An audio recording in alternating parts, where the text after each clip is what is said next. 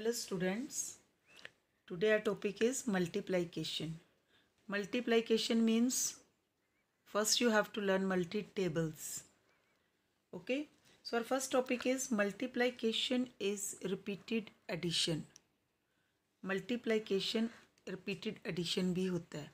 For example जैसे आपको दिया गया है फोर इंटू टू ये तो हो गया टेबल मल्टीप्लाई सिंपली अब चाहे फोर का टेबल टू तक आप काउंट कर लीजिए, चाहे टू का टेबल फोर तक काउंट कर लीजिए। आंसर आपका आएगा eight four two are eight if you will count two four are again eight now what is repeated addition repeated addition होता है बेटा, अगर आप फोर को प्लस का साइन डालेंगे टू टाइम प्लस करोगे।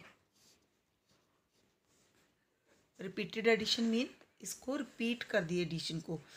जो आपका फ़र्स्ट नंबर है, उसको जितने के साथ मल्टीप्लाई किया, उसके साथ आप उतने टाइम एडिशन कर दिए। फोर को टू टाइम प्लस करेंगे। वन टू थ्री फोर फिर एक बार और फोर है। One two three four one two three four five six seven eight answer is eight okay या फिर आप टू को फोर टाइम प्लस कर लीजिए। Two plus two plus two plus two so count it one two उसके बाद to और है. वन टू अगेन टू और है. One two next two one two तो यहाँ तक कितने हो गए?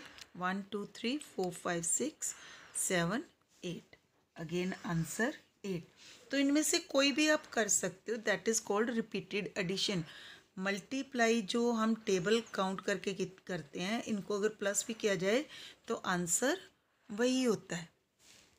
हाँ जी नेक्स्ट एग्जांपल हम देखते हैं इसकी। मल्टीप्लाई इज़ रिपीटेड एडिशन की फाइव इंटू थ्री ठीक है? फाइव का टेबल अगर थ्री तक काउंट करोगे five one are five five two are ten five three are fifteen अगर आप थ्री का टेबल फाइव तक गिनोगे तो भी आंसर सेम होगा। Now what is repeated addition आप फाइव को चाहे थ्री टाइम प्लस कीजिए या फिर थ्री को फाइव टाइम प्लस कीजिए। तो मैं फाइव को प्लस कर थ्री को प्लस करते हैं हम five time three plus three plus three plus three plus three three को कितने टाइम लिखना है? फाइव को। अगर फाइव को प्लस करते हैं तो थ्री टाइम सो तो हमने थ्री को लिया तो थ्री को कितनी बार कहना है? Five time one two three four five time plus कर दिया।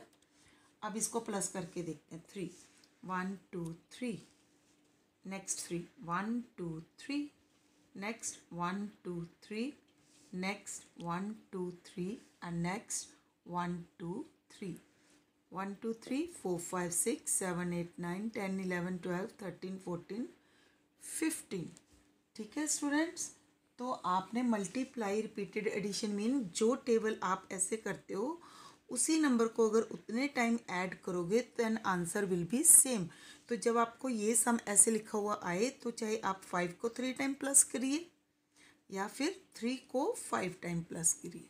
आंसर वही आएगा ओके? So do practice.